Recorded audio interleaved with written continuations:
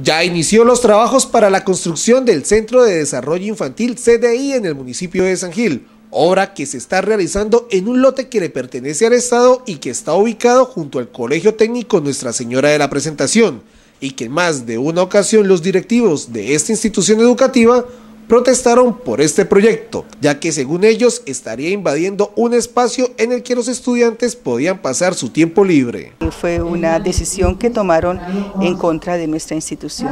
Eh, sí, como ustedes pueden ver, realmente mm, prácticamente ya está toda la parte eh, general, está en la parte como determinación. Mm, no tenemos conocimiento de eso absolutamente porque pues eso son eh, vinculaciones directas con la gobernación. Uno de los compromisos para que esta obra se realizara fue que para el colegio la gobernación les construiría una cancha y una zona de recreo pero según su rectora, hasta el momento se desconocen de estos trabajos. Todavía nosotros no sabemos cómo está ese compromiso, tenemos conocimiento que se hizo el proyecto, tenemos conocimiento que el 25 de septiembre se hacía la adjudicación a la empresa que lo iba a construir, pero en este momento no sabemos todavía quién lo va a hacer, ni ha habido ninguna intervención en el terreno. Aunque ya la obra se está realizando junto a la institución educativa, esto no tendría ninguna relación con las directivas de la presentación. Y pues realmente no está dentro de la instalación del colegio, porque si ustedes observan, está cercado.